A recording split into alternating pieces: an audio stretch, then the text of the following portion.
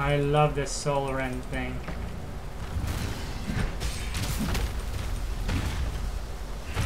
Oh my god. Ah! I died. I died because it,